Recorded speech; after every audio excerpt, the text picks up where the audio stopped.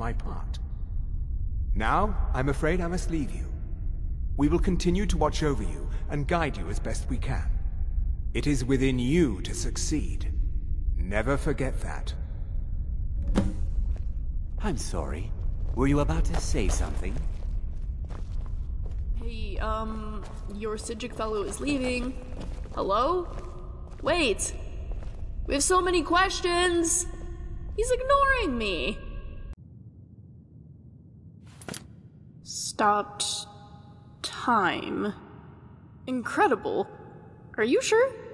How did he manage? He must be quite the mage. He has that kind of power and uses it just to chat with you?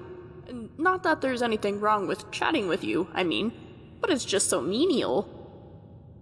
What did he have to say anyway? Who in Oblivion is that?